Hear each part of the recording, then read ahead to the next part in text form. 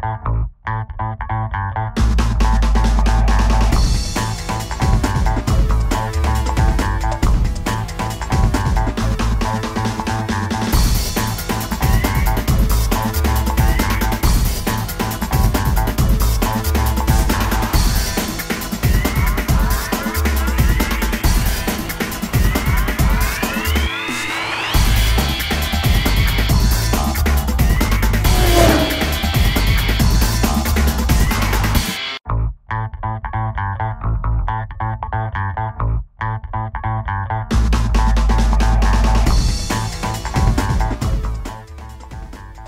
Hi, I'm Ariel, and I've been in business in Fort Lauderdale for 32 years.